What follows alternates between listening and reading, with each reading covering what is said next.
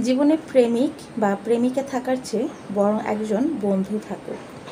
যার সাথে কথা বলা যাবে নিঃসংকোচে। যার সাথে সম্পর্কটা হবে দুই দেহ, এক আত্মা টাইপের। জীবনে একটা বন্ধু থাকুক। সব আজাইরা কথাগুলো শোনার জন্য। মন খারাপের দিনে প্রেমিক বা প্রেমিকার মতো করে মন ভালো না করে দিয়ে আরও মেজাজ খারাপ করে দেওয়ার জন্য হলেও একজন বন্ধু থাকুক।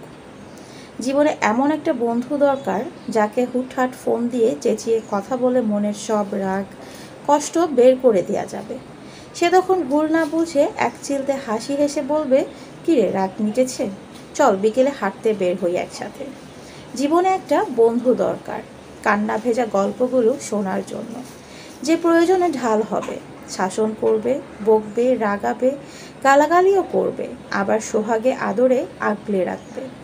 জীবনে একটা বন্ধু থাকুক, সে হবে আমারই মতো, যার জন্য নিজেকে অন্তত মানিয়ে নিতে হবে না।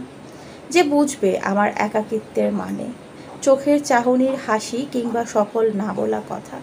জীবনে এমন একটা বন্ধু পেয়ে গেলে আর প্রেমিক বা প্রেমিকার দরকার পড়ে না।